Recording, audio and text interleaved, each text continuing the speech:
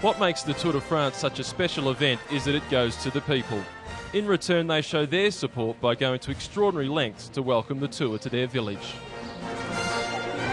When our mairie said to us, the tour is passing the village, would you like to participate? And we decided immediately we would participate in decorating and so on.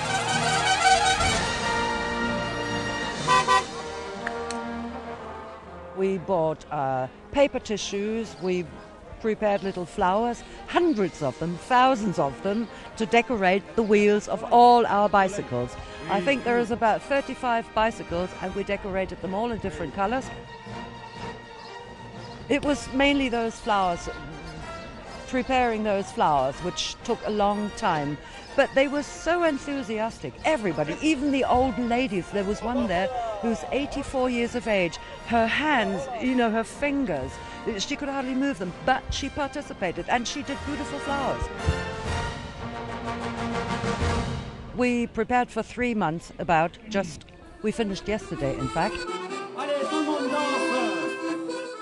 And throughout the tour, the French proudly welcome people from all corners of the globe to this beautiful country. It's wonderful. It has such so lively and colorful, and just it's just a great spirit and the spirit of France. It's just it's really de- wonderful to be here. How welcoming it feels.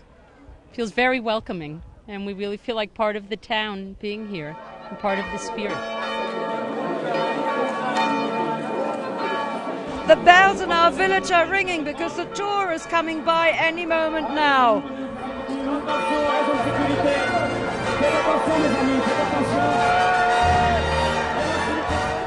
I think everybody is just happy to, to, to, to, to have a, a big party.